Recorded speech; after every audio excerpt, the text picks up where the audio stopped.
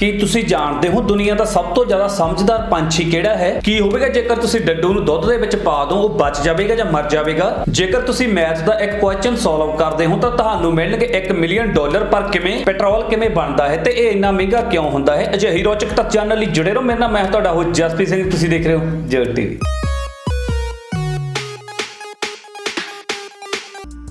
ਜਿਵੇਂ ਕਿ ਤੁਹਾਨੂੰ ਪਤਾ ਹੀ ਹੈ ਕਿ ਸੰਡੇ ਜਾਨੀ ਕਿ ਐਤਵਾਰ ਨੂੰ ਜ਼ਿਆਦਾਤਰ ਦੇਸ਼ਾਂ ਦੇ ਵਿੱਚ ਛੁੱਟੀ ਹੁੰਦੀ ਹੈ, ਪਰ ਹੁਣ ਇਨਸਾਨੀ ਜਨਸੰਖਿਆ ਇੰਨੀ ਜ਼ਿਆਦਾ ਵੱਧ ਗਈ ਹੈ ਕਿ ਸਾਰੇ ਦੇਸ਼ਾਂ ਦੇ ਆਪਣੇ ਤਿਉਹਾਰ ਤੇ ਆਪਣੀਆਂ ਛੁੱਟੀਆਂ ਨੇ। ਜੇਕਰ ਅਸੀਂ ਦੁਨੀਆ ਦੇ ਸਾਰੇ ਦੇਸ਼ਾਂ ਦਾ ਐਸਟੀਮੇਟ ਲਾਈਏ ਤਾਂ ਪੂਰੀ ਦੁਨੀਆ ਦੇ ਵਿੱਚ ਹਰ ਰੋਜ਼ ਕਿਤੇ ਨਾ ਕਿਤੇ ਇੱਕ ਦੇਸ਼ ਦੇ ਵਿੱਚ ਛੁੱਟੀ ਹੁੰਦੀ ਹੈ। 75% ਤੋਂ ਜ਼ਿਆਦਾ ਲੋਕ ਸਵੇਰੇ ਉੱਠਣ ਤੋਂ ਬਾਅਦ ਜੇਕਰ ਟਾਈਮ ਹੋਵੇ ਤਾਂ ਦੁਬਾਰਾ ਸੌਣ ਲਈ ਚਲੇ ਜਾਂਦੇ ਨੇ। ਮਤਲਬ ਕਿ ਜੇਕਰ ਉਹ ਕੋਈ ਚੰਗਾ ਸੁਪਨਾ ਦੇਖ ਰਹੇ ਹੁੰਦੇ ਨੇ ਤੇ ਉਹਨਾਂ ਦੀ ਨੀਂਦ ਖੁੱਲ ਜਾਂਦੀ ਹੈ, ਤਾਂ ਉਹ ਫਿਰ ਤੋਂ ਸੌਣ ਦੀ ਕੋਸ਼ਿਸ਼ ਕਰਦੇ ਨੇ ਤਾਂ ਕਿ ਉਹ ਆਪਣੇ ਸੁਪਨੇ ਨੂੰ ਪੂਰਾ ਕਰ ਸਕਣ। ਜਿਵੇਂ ਕਿ ਮੈਂ ਤੁਹਾਨੂੰ ਆਪਣੀ ਪੁਰਾਣੀ ਵੀਡੀਓ ਦੇ ਵਿੱਚ ਵੀ ਦੱਸਿਆ ਸੀ ਕਿ ਅਜਿਹਾ ਕਰਨਾ ਇਨਸਾਨੀ ਸਿਹਤ ਦੇ ਲਈ ਬਹੁਤ ਜ਼ਿਆਦਾ ਖਤਰਨਾਕ ਹੈ। ਕੀ ਤੁਹਾਨੂੰ ਪਤਾ ਹੈ ਡਾਇਮੰਡ ਜਦ ਕਿ ਹੀਰੇ ਅਤੇ ਪੈਨਸਲਾਂ ਇੱਕ ਹੀ ਮਟੀਰੀਅਲ ਤੋਂ ਬਣਦੇ ਨੇ? ਹਾਂਜੀ, ਇਹ ਗੱਲ ਬਿਲਕੁਲ ਸੱਚ ਹੈ, ਇਹ ਦੋਨੇ ਚੀਜ਼ਾਂ ਕਾਰਬਨ ਤੋਂ ਬਣਦੀਆਂ ਹਨ। ਕਾਰਬਨ ਜਦੋਂ ਗਰਮ ਹੋ ਜਾਂਦਾ ਹੈ, ਉਸ ਤੋਂ ਬਾਅਦ ਡਾਇਮੰਡ ਜਾਨੀ ਕਿ ਹੀਰਾ ਬਣ ਜਾਂਦਾ ਹੈ ਤੇ ਪੈਨਸਲ ਬਣਾਉਣ ਦੇ ਲਈ ਕੱਚਾ ਕਾਰਬਨ ਵਰਤਿਆ ਜਾਂਦਾ ਹੈ। ਇਹ ਦੋਨੇ ਚੀਜ਼ਾਂ ਇੱਕ ਹੀ ਮਟੀਰੀਅਲ ਤੋਂ ਬਣਦੀਆਂ ਨੇ।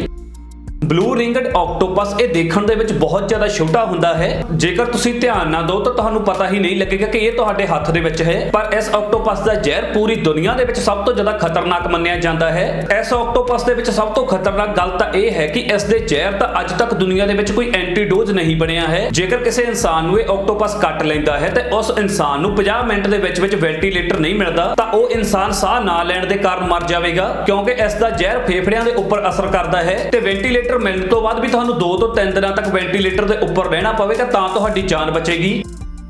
ਨੈਗੇਟਿਵ ਜਾਨੀ ਕਿ ਨਕਾਰਾਤਮਕ ਚੀਜ਼ਾਂ ਬਹੁਤ ਜ਼ਿਆਦਾ ਤਾਕਤਵਰ ਹੁੰਦੀਆਂ ਹਨ। ਜੇਕਰ ਤੁਸੀਂ ਆਪਣੀ ਕੋਈ ਨੈਗੇਟਿਵ ਆਦਤ ਨੂੰ ਖਤਮ ਕਰਨਾ ਚਾਹੁੰਦੇ ਹੋ, ਤਾਂ ਤੁਹਾਨੂੰ ਪੋਜ਼ਿਟਿਵ ਜਾਨੀ ਕਿ ਸਕਾਰਾਤਮਕ ਚੀਜ਼ਾਂ ਕਰਨੀਆਂ ਪੈਣਗੀਆਂ। ਇੱਕ ਸਰਵੇ ਦੇ ਵਿੱਚ ਇਹ ਗੱਲ ਪਤਾ ਲੱਗੀ ਹੈ ਕਿ ਇੱਕ ਮਾੜੀ ਆਦਤ ਨੂੰ ਛੱਡਣ ਦੇ ਲਈ ਤੁਹਾਨੂੰ ਪੰਜ ਚੰਗੀਆਂ ਚੀਜ਼ਾਂ ਸਿੱਖਣੀਆਂ ਪੈਂਦੀਆਂ ਹਨ। ਇਹ ਫੈਕਟ ਕੁੜੀਆਂ ਨੂੰ ਕਾਫੀ ਜ਼ਿਆਦਾ ਪਸੰਦ ਆਵੇਗਾ, ਕਿਉਂਕਿ ਜੇਕਰ ਇਹਨਾਂ ਕੋਲ ਫੋਨ ਹੋਵੇ ਤਾਂ ਇਹਨਾਂ ਨੂੰ ਸਾਹਮਣੇ ਕਿਤੇ ਕੋਈ ਸ਼ੀਸ਼ਾ ਦਿਖਾਈ ਦੇ ਜਾਵੇ ਤਾਂ ਸਮਝੋ ਕਿ ਇਹਨਾਂ ਦੇ ਫੋਨ ਦੀ ਸਟੋਰੇਜ ਭਰਨ ਵਾਲੀ ਹੈ। ਇਸ ਕਰਕੇ ਐਪਲ ਕੰਪਨੀ ਨੇ ਹਾਲ ਹੀ ਦੇ ਵਿੱਚ ਇੱਕ ਸਮਾਰਟ ਮਿਰਰ ਲਾਂਚ ਕੀਤਾ ਹੈ। ਤੁਸੀਂ ਇਸ ਸ਼ੀਸ਼ੇ ਦੇ ਨਾਲ ਹਜ਼ਾਰ ਤੋਂ ਵੱਧ ਸੈਲਫੀਆਂ ਲੈ ਸਕਦੇ ਹੋ, ਉਹ ਵੀ ਇੱਕ ਵਧੀਆ ਕੈਮਰੇ ਨਾਲ। ਤੁਸੀਂ ਇਸ ਸ਼ੀਸ਼ੇ ਦੇ ਸਾਹਮਣੇ ਤਿਆਰ ਹੁੰਦੇ ਹੋਏ ਨੈਟਫਲਿਕਸ ਦੇਖ ਸਕਦੇ ਹੋ ਬ੍ਰਾਊਜ਼ਰ ਕਰ ਸਕਦੇ ਹੋ ਤੇ ਗੂਗਲ ਕਰ ਸਕਦੇ ਹੋ। ਜੇਕਰ ਤੁਸੀਂ ਚਾਹੋ ਤਾਂ ਤੁਸੀਂ ਤਿਆਰ ਹੁੰਦੇ ਹੁੰਦੇ ਚੈਟਿੰਗ ਅਤੇ ਵੀਡੀਓ ਕਾਲ ਵੀ ਕਰ ਸਕਦੇ ਹੋ। ਹੋਰ ਵੀ ਕਈ ਅਜਿਹੀਆਂ ਚੀਜ਼ਾਂ ਤੁਸੀਂ ਮੇਕਅਪ ਕਰਦੇ ਕਰਦੇ ਇਸ ਸ਼ੀਸ਼ੇ ਦੇ ਵਿੱਚ ਯੂਜ਼ ਕਰ ਸਕਦੇ ਹੋ। ਕਿਸੇ ਨੂੰ ਵੀ ਪਾਵਰ ਮਿਲਣ ਤੋਂ ਬਾਅਦ ਉਸ ਦੇ ਵਿੱਚ ਆਪਣੇ ਆਪ ਹੰਕਾਰ ਜ਼ਰੂਰ ਆ ਜਾਂਦਾ ਹੈ। ਮਤਲਬ ਕਿ ਜੇਕਰ ਕਿਸੇ ਆਦਮੀ ਨੂੰ ਸਫਲਤਾ ਮਿਲ ਜਾਂਦੀ ਹੈ ਜਾਂ ਉਹ ਕਿਸੇ ਕਾਰਨ ਕਰਕੇ ਪੈਸੇ ਦੇ ਵਿੱਚ ਉੱਪਰ ਹੋ ਜਾਂਦਾ ਹੈ ਤੇ ਉਹ ਬਾਕੀ ਲੋਕਾਂ ਬਾਰੇ ਬਹੁਤ ਘੱਟ ਸੋਚੇਗਾ ਤੇ ਦੂਜੇ ਲੋਕਾਂ ਬਾਰੇ ਇਹੀ ਸੋਚੇਗਾ ਕਿ ਇਹ ਲੋਕ ਬਹੁਤ ਘੱਟ ਮਿਹਨਤੀ ਨੇ, ਮੈਂ ਇਕੱਲਾ ਮਿਹਨਤੀ ਸੀ ਤਾਂ ਹੀ ਮੈਂ ਇਸ ਮੁਕਾਮ ਦੇ ਉੱਪਰ ਪਹੁੰਚ ਗਿਆ। ਤੇ ਪਾਵਰਫੁਲ ਆਦਮੀ ਨੂੰ ਹਮੇਸ਼ਾ ਇਹ ਚੀਜ਼ ਲੱਗਦੀ ਹੈ ਕਿ ਮੇਰੇ ਤੋਂ ਵੱਧ ਮਿਹਨਤ ਕਿਸੇ ਨੇ ਨਹੀਂ ਕੀਤੀ, ਮੈਂ ਆਪਣੀ ਮਿਹਨਤ ਦੇ ਦਮ ਤੇ ਇੱਥੇ ਤੱਕ ਪਹੁੰਚਿਆ ਹਾਂ। ਪਰ ਅਸਲ ਦੇ ਵਿੱਚ ਸਕਸੈਸਫੁਲ ਆਦਮੀ ਦੀ ਸਫਲਤਾ ਦੇ ਪਿੱਛੇ ਕਈ ਲੋਕਾਂ ਦਾ ਹੱਥ ਹੁੰਦਾ ਹੈ। ਇੱਕ 5 ਸਾਲ ਦਾ ਇੰਡੀਅਨ ਬੱਚਾ ਟ੍ਰੇਨ ਦੇ ਵਿੱਚ ਸਫ਼ਰ ਕਰਦੇ ਕਰਦੇ ਆਪਣੇ ਮਾਤਾ-ਪਿਤਾ ਤੋਂ ਵਿਛੜ ਗਿਆ ਤੇ ਉਹ ਕਲਕੱਤੇ ਸ਼ਹਿਰ ਦੇ ਵਿੱਚ ਹੀ ਰਹਿ ਗਿਆ। ਪਰ ਇਸ ਬੱਚੇ ਨੇ 25 ਸਾਲਾਂ ਬਾਅਦ ਆਪਣੇ ਮਾਤਾ-ਪਿਤਾ ਨੂੰ ਲੱਭ ਲਿਆ, ਉਹ ਵੀ ਗੂਗਲ ਮੈਪ ਦੀ ਮਦਦ ਦੇ ਨਾਲ। ਕੀ ਤੁਹਾਨੂੰ ਪੰਛੀਆਂ ਦੀ ਸਭ ਤੋਂ ਜ਼ਿਆਦਾ ਇੰਟੈਲੀਜੈਂਟ ਪ੍ਰਜਾਤੀ ਦੇ ਬਾਰੇ ਪਤਾ ਹੈ? ਇਹ ਹੈ ਕ੍ਰੀਆ ਪੈਰੋਟ, ਜਿਹੜਾ ਕਿ ਨਿਊਜ਼ੀਲੈਂਡ ਦੇ ਵਿੱਚ ਮਿਲਦਾ ਹੈ। ਇਹ ਇੰਨਾ ਉੱਚਾ ਉੱਡ ਸਕਦਾ ਹੈ ਜਿੰਨਾ ਉੱਚਾ ਕਿ ਈਗਲ ਵੀ ਨਹੀਂ ਉੱਡ ਸਕਦਾ। ਮਤਲਬ ਕਿ ਜਿੰਨੀ ਉਚਾਈ ਤੇ ਈਗਲ ਉੱਡਦਾ ਹੈ, ਉਸ ਤੋਂ ਕਿਤੇ ਵੱਧ ਉਚਾਈ ਤੇ ਇਹ ਪੰਛੀ ਅਸਮਾਨ ਦੇ ਵਿੱਚ ਉੱਡ ਸਕਦਾ ਹੈ। ਜੇਕਰ ਇਸ ਪੰਛੀ ਦੀ ਇੰਟੈਲੀਜੈਂਸੀ ਦੀ ਗੱਲ ਕਰੀਏ ਤਾਂ ਇਹ ਬਹੁਤ ਜ਼ਿਆਦਾ ਸਮਾਰਟ ਹੈ। ਜੇਕਰ ਇਸ ਨੂੰ ਚੰਗੀ ਤਰ੍ਹਾਂ ਦੇ ਨਾਲ ਟ੍ਰੇਨ ਕੀਤਾ ਜਾਵੇ ਤਾਂ ਇਹ ਥੋੜੀ ਬਹੁਤੀ ਇਨਸਾਨੀ ਭਾਸ਼ਾ ਵੀ ਸਿੱਖ ਸਕਦਾ ਹੈ। ਇਸ ਪੰਛੀ ਨੂੰ ਤਬਾਹੀ ਮਚਾਉਣ ਵਾਲਾ ਪੰਛੀ ਵੀ ਕਿਹਾ ਜਾਂਦਾ ਹੈ ਕਿਉਂਕਿ ਬਹੁਤ ਜ਼ਿਆਦਾ ਉੱਚੀਆਂ ਆਵਾਜ਼ਾਂ ਕੱਢਦਾ ਹੈ ਤੇ ਇਸ ਨੂੰ ਇਨਸਾਨ ਅਤੇ ਜਾਨਵਰਾਂ ਨੂੰ ਤੰਗ ਕਰਨਾ ਬਹੁਤ ਜ਼ਿਆਦਾ ਵਧੀਆ ਲੱਗਦਾ ਹੈ। ਜਿਹੜੀ ਤੁਹਾਨੂੰ ਇਹ ਵਾਇਰ ਜਾਨੀ ਕਿ ਤਾਰ ਦਿਖ ਰਹੀ ਹੈ, ਇਹ ਤੁਹਾਡੀ ਜ਼ਿੰਦਗੀ ਦੀ ਸਭ ਤੋਂ ਮਹੱਤਵਪੂਰਨ ਚੀਜ਼ ਹੈ। ਇਹ ਅਸਲ ਦੇ ਵਿੱਚ ਫਾਈਬਰ ਆਪਟਿਕ ਵਾਇਰ ਕੇਬਲ ਹੈ, ਜਿਹੜੀ ਕਿ ਤੁਹਾਨੂੰ ਹਾਈ ਸਪੀਡ ਇੰਟਰਨੈਟ ਚਲਾਉਣ ਦੇ ਵਿੱਚ ਮਦਦ ਕਰਦੀ ਹੈ। ਹੁਸੇਨ ਬੋਲਟ ਨੂੰ ਦੁਨੀਆ ਦਾ ਸਭ ਤੋਂ ਜ਼ਿਆਦਾ ਤੇਜ਼ ਇਨਸਾਨ ਕਿਹਾ ਜਾਂਦਾ ਹੈ ਕਿਉਂਕਿ ਇਹਨਾਂ ਨੇ 3 ਸਾਲ 올림픽 ਰੇਸਾਂ ਕੀਤੀਆਂ ਸਨ ਜਿਨ੍ਹਾਂ ਦੇ ਵਿੱਚੋਂ ਇਸ ਨੇ 9 ਮੈਡਲ ਜਿੱਤੇ ਸਨ ਤੇ 올림픽 ਦੇ ਵਿੱਚ ਉਹਨਾਂ ਨੇ 2 ਮਿੰਟ ਤੋਂ ਵੀ ਘੱਟ ਟਾਈਮ ਭੱਜਣ ਵਾਲੇ ਟਰੈਕ ਦੇ ਉੱਪਰ ਗੁਜ਼ਾਰਿਆ ਹੈ ਤੇ ਉਹਨਾਂ ਨੂੰ 115 ਸੈਕਿੰਡ ਦੇ ਲਈ 1.90 ਮਿਲੀਅਨ ਡਾਲਰ ਦਿੱਤੇ ਗਏ ਸਨ ਮਤਲਬ ਕਿ ਇਹਨਾਂ ਨੂੰ ਹਰ ਇੱਕ ਸੈਕਿੰਡ ਦੇ 1 ਮਿਲੀਅਨ ਤੋਂ ਵੀ ਵੱਧ ਡਾਲਰ ਮਿਲੇ ਨੇ 2 ਮਿੰਟ ਤੋਂ ਵੀ ਘੱਟ ਭੱਜੇ ਹੋਣਗੇ ਪਰ ਇਹਨਾਂ ਨੇ 20 ਸਾਲ ਇਸ ਦੀ ਟ੍ਰੇਨਿੰਗ ਕੀਤੀ ਤਾਂ ਹੀ ਇਹਨਾਂ ਦਾ ਇੰਨਾ ਜ਼ਿਆਦਾ ਨਾਮ ਹੋਇਆ ਹੈ ਤੁਸੀਂ ਬਸ ਮੈਥ ਦਾ ਇੱਕ ਕੁਐਸਚਨ ਹੱਲ ਕਰੋ ਤੇ ਤੁਹਾਨੂੰ 1 ਮਿਲੀਅਨ ਡਾਲਰ ਮਿਲ ਜਾਣਗੇ। ਹੁਣ ਤੁਹਾਨੂੰ ਦੱਸਦੇ ਹਾਂ ਕਿਵੇਂ। ਦਾ ਕਲੇ ਮੈਥਮੈਟਿਕਸ ਨਾਮ ਦਾ ਯੂਐਸਏ ਦੇ ਵਿੱਚ ਇੱਕ ਇੰਸਟੀਚਿਊਟ ਹੈ। ਇਹਨਾਂ ਨੇ ਆਪਣੀ ਵੈਬਸਾਈਟ ਦੇ ਉੱਪਰ 7 ਮੈਥ ਦੇ ਕੁਐਸਚਨ ਪਾਏ ਹੋਏ ਨੇ। ਜੇਕਰ ਤੁਸੀਂ ਉਹਨਾਂ ਦੇ ਵਿੱਚੋਂ ਇੱਕ ਨੂੰ ਵੀ ਹੱਲ ਕਰਦੇ ਹੋ, ਤਾਂ ਤੁਹਾਨੂੰ 1 ਮਿਲੀਅਨ ਡਾਲਰ ਮਿਲ ਜਾਣਗੇ। ਜੇਕਰ ਤੁਸੀਂ ਇਹ 7 ਦੇ 7 ਕੁਐਸਚਨਾਂ ਨੂੰ ਹੱਲ ਕਰ ਦੋਗੇ, ਤਾਂ ਤੁਹਾਨੂੰ 10 ਮਿਲੀਅਨ ਯੂਐਸ ਡਾਲਰ ਮਿਲਣਗੇ। ਪਰ ਅੱਜ ਤੱਕ ਬਹੁਤ ਘੱਟ ਲੋਕ ਨੇ ਜਿਹੜੇ ਕੁਐਸਚਨਾਂ ਨੂੰ ਸੋਲਵ ਕਰ ਸਕੇ ਨੇ। ਜੇਕਰ ਤੁਸੀਂ ਇਹਨਾਂ ਪ੍ਰੇਸ਼ਨਾਂ ਨੂੰ ਸੋਲਵ ਕਰਨਾ ਚਾਹੁੰਦੇ ਹੋ, ਤਾਂ ਤੁਸੀਂ ਦੀ claymathematics.com ਦੇ ਉੱਪਰ ਜਾ ਸਕਦੇ ਹੋ। ਇੱਥੇ ਇਹ ਵੀ ਦੱਸਣਾ ਬਹੁਤ ਜ਼ਰੂਰੀ ਹੈ ਕਿ ਇਹ ਸਾਰੇ ਪ੍ਰੇਸ਼ਨਾਂ ਦੇ ਆਨਸਰ ਤੁਹਾਨੂੰ ਇੰਟਰਨੈਟ ਦੇ ਉੱਪਰ ਨਹੀਂ ਮਿਲਣਗੇ, ਇਹ ਤੁਹਾਨੂੰ ਆਪ ਹੀ ਹੱਲ ਕਰਨੇ ਪੈਣਗੇ। ਜੇਕਰ ਤੁਸੀਂ ਬਿੱਲੀ ਪਾਲਦੇ ਹੋ ਤਾਂ ਤੁਹਾਨੂੰ ਪਤਾ ਹੀ ਹੋਵੇਗਾ ਕਿ ਬਿੱਲੀਆਂ ਕਈ ਵਾਰ ਮਰੇ ਹੋਏ ਜਾਨਵਰਾਂ ਨੂੰ ਤੁਹਾਡੇ ਕੋਲ ਲੈ ਕੇ ਆ ਜਾਂਦੀਆਂ ਹਨ। ਜਿਵੇਂ ਕਿ ਚੂਹੇ ਜਾਂ ਮੁਰਗੀ ਦੇ ਬੱਚੇ ਆਦਿ। ਬਿੱਲੀਆਂ ਇਸ ਲਈ ਅਜਿਹਾ ਕਰਦੀਆਂ ਨੇ ਕਿਉਂਕਿ ਬਿੱਲੀਆਂ ਨੂੰ ਲੱਗਦਾ ਹੈ ਕਿ ਤੁਸੀਂ ਬਹੁਤ ਜ਼ਿਆਦਾ ਬੁਰੇ ਸ਼ਿਕਾਰੀ ਹੋ ਤੇ ਤੁਸੀਂ ਕੋਈ ਵੀ ਜਾਨਵਰ ਮਾਰ ਕੇ ਉਹਨਾਂ ਨੂੰ ਖਵਾ ਨਹੀਂ ਸਕਦੇ ਤੇ ਤੁਹਾਨੂੰ ਨੀਵਾ ਦਿਖਾਉਣ ਦੇ ਲਈ ਉਹ ਅਜਿਹਾ ਕਰਦੀਆਂ ਹਨ। ਜੇਕਰ ਤੁਸੀਂ ਬਿੱਲੀਆਂ ਨੂੰ ਹਰ ਰੋਜ਼ ਨੌਨ ਵੈਜ ਯਾਨੀ ਕਿ ਮੀਟ ਪਾਉਣਾ ਸ਼ੁਰੂ ਕਰ ਦਿਓ ਤਾਂ ਉਹ ਅਜਿਹਾ ਕਰਨਾ ਬੰਦ ਕਰ ਦੇਣਗੀਆਂ।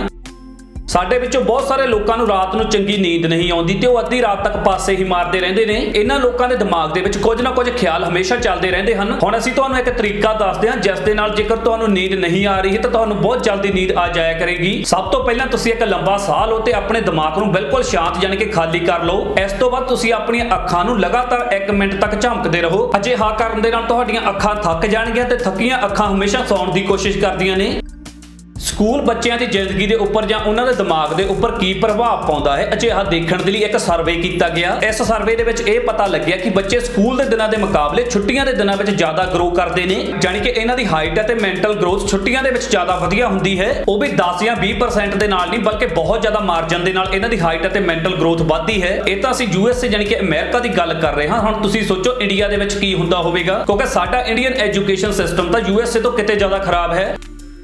ਅੱਜ ਦੁਨੀਆ ਦੇ ਵਿੱਚ ਜੋ ਸਭ ਤੋਂ ਜ਼ਿਆਦਾ ਤੇਜ਼ੀ ਨਾਲ ਕਿਸੇ ਚੀਜ਼ ਦਾ ਰੇਟ ਵੱਧ ਰਿਹਾ ਹੈ, ਤਾਂ ਉਹ ਚੀਜ਼ ਹੈ ਪੈਟਰੋਲ। ਪੈਟਰੋਲ ਬਣਦਾ ਕਿਵੇਂ ਹੈ? ਤੁਹਾਡੇ ਦਿਮਾਗ ਦੇ ਵਿੱਚ ਇਹ ਜ਼ਰੂਰ ਆਇਆ ਹੋਵੇਗਾ। ਪੈਟਰੋਲ ਬਣਦਾ ਹੈ ਪੈਟਰੋਲੀਅਮ ਨਾਮ ਦੇ ਇੱਕ ਜੈਟ ਬਲੈਕ ਤਰਲ ਤੋਂ ਤੇ ਪੈਟਰੋਲੀਅਮ ਜ਼ਮੀਨ ਦੇ ਅੰਦਰੋਂ ਮਿਲਦਾ ਹੈ। ਪੈਟਰੋਲੀਅਮ ਹੋਰ ਕੁਝ ਨਹੀਂ, ਬਲਕਿ ਦਰਖਤ ਅਤੇ ਜਾਨਵਰਾਂ ਦੇ ਡੈਡ ਰਿਮੇਨਸ ਨੇ, ਜਿਹੜੇ ਕਿ ਬਹੁਤ ਜ਼ਿਆਦਾ ਸਮੇਂ ਤੋਂ ਧਰਤੀ ਦੇ ਵਿੱਚ ਦੱਬੇ ਰਹਿਣ ਕਰਕੇ ਤੇ ਬਹੁਤ ਜ਼ਿਆਦਾ ਗਰਮੀ ਮਿਲਣ ਕਰਕੇ ਪੈਟਰੋਲੀਅਮ ਦੇ ਵਿੱਚ ਬਦਲ ਗਏ ਹਨ। ਤੇ ਪੈਟਰੋਲੀਅਮ ਪੂਰੀ ਧਰਤੀ ਦੇ ਉੱਪਰ ਮਿਲਦਾ ਹੈ, ਖਾਸ ਕਰਕੇ ਗਰਮ ਅਤੇ ਖੁਸ਼ਕ ਥਾਵਾਂ ਦੇ ਉੱਪਰ। ਪੈਟਰੋਲੀਅਮ ਨੂੰ ਪੂਰੀਫਾਈ ਕਰਕੇ, ਇਸ ਨੂੰ ਸਾਫ਼ ਕਰਕੇ, ਇਸ ਦੇ ਵਿੱਚ ਇੱਕ ਕੈਮੀਕਲ ਮਿਲਾਇਆ ਜਾਂਦਾ ਹੈ ਤੇ ਕਾਫੀ ਜ਼ਿਆਦਾ ਲੰਮੇ ਪ੍ਰੋਸੈਸ ਤੋਂ ਬਾਅਦ ਪੈਟਰੋਲ ਬਣਦਾ ਹੈ। ਪੈਟਰੋਲ ਸਾਡੀ ਧਰਤੀ ਦੇ ਉੱਪਰ ਅਨਲਿਮਿਟਿਡ ਨਹੀਂ ਹੈ, ਬਲਕਿ ਇਹ ਕਿਤੇ ਨਾ ਕਿਤੇ ਖਤਮ ਹੋ ਜਾਵੇਗਾ। ਜਾਨੀ ਕਿ ਇਹ ਇੱਕ ਲਿਮਿਟਿਡ ਮਟੀਰੀਅਲ ਹੈ, ਇਸ ਕਰਕੇ ਇਹ ਪੈਟਰੋਲ ਕਾਫੀ ਜ਼ਿਆਦਾ ਮਹਿੰਗਾ ਹੁੰਦਾ ਹੈ।